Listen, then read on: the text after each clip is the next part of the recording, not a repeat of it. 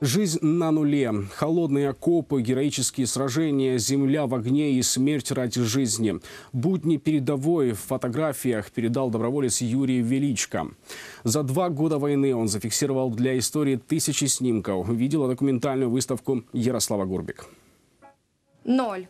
Так на фронте называют передовые посты. Там смерть на расстоянии дыхания, а каждая минута драгоценной жизни может стать последней. Глядя на фотографии, вспоминает будни на фронте Юрий Величко. Это декабрь прошлого года, прошлая зима, Светлодарская дуга.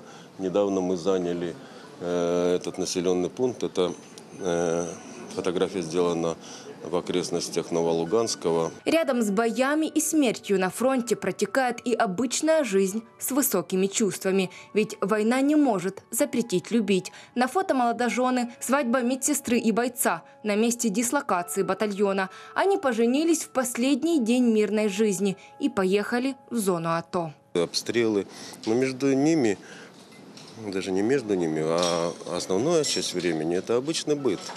Обычная жизнь, в которой мы обычные люди со своими привычками, пристрастиями.